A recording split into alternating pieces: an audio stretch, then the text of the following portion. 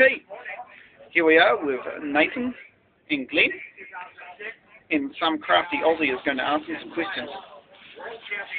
Alright, Nathan Glenn, um, what are you guys up to this morning? Uh, we're just going up to walk the bottom section of the course and look at the lines and yeah, see if we can get off for today's practice.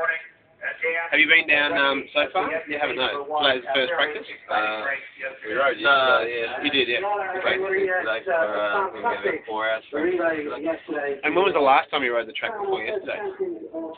I rode it a week ago, got a little bit of shady practice at the end. Ooh. Uh, yeah, that was good to get a look at things, but it was a bit dry then. Yeah. Was slippery at the moment. But, um, yeah, and obviously raced it in uh, March for those Yeah. years. And Nathan, last time was March? No, yeah, March, and uh, yeah, I carried myself then. So Yeah.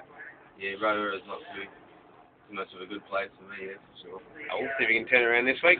And what do you think of the difference between now and March on the track? Uh, stems to the definitely. Like it's uh, rides a lot different than March, but uh, a few alterations. The bridges are very slippery, all the wood on it. Yeah. Yeah, it's good. Probably some Kiwis a bit more now. We ride a bit. Do you think we'll see some faster times for the berms or slower because of the wet dirt? Uh, it's got to be a wee bit slower. The paddocks a bit sluggish. Like, we're on mud tyres, so they don't roll as fast as dry tyres. So it's got to be a, a tad slower, I'd say.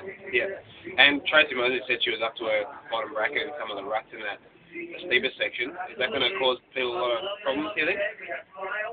Uh, obviously, everyone being at the world champ, it's got to be, got to be obviously a decent rider.